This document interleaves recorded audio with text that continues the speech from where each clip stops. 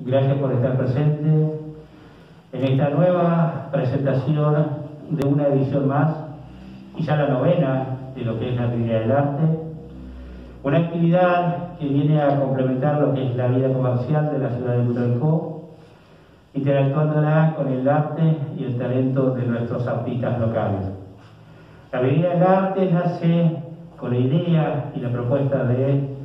uno de sus colegas, Néstor Sandoval, que luego nos transmitiera, poder desarrollar la continuidad a nosotros desde de Mayoco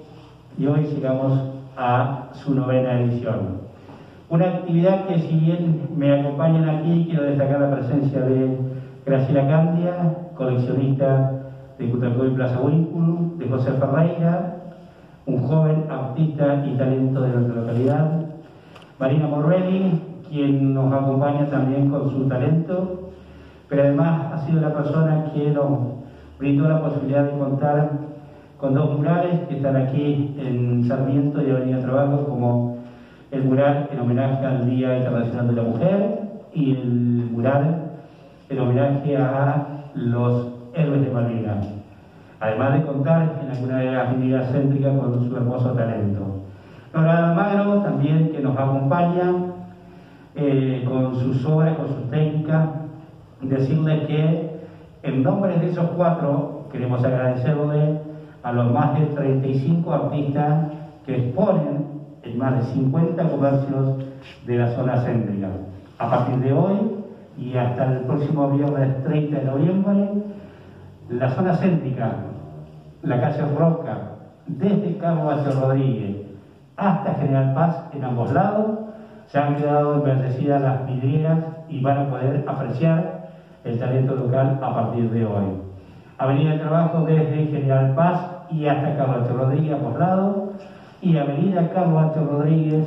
desde Sáenz Peña a Irigoyen a ambos lados. Reiteramos más de 35 artistas en 50 comercios de la zona céntrica que hoy podemos ver embellecida nuestra localidad. Y en el marco de los 10 años del Dante Bayoco, de actividad interrumpida y del desarrollo de este plan cultural pluralista, independiente y participativo,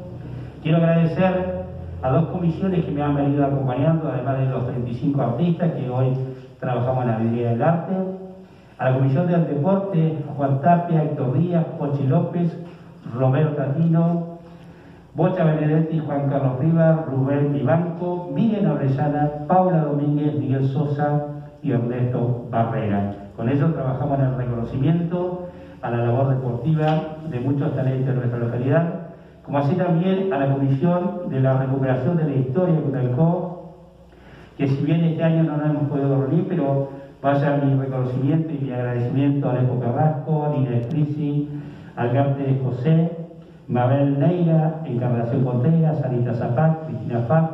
Marta Xavier, Omar Guerrero Xavier, Rubén García, son la comisión de la recuperación de la historia de nuestra ciudad que también han acompañado el crecimiento y el desarrollo en estos 10 años del Dante. También mi agradecimiento de forma particular a la concejal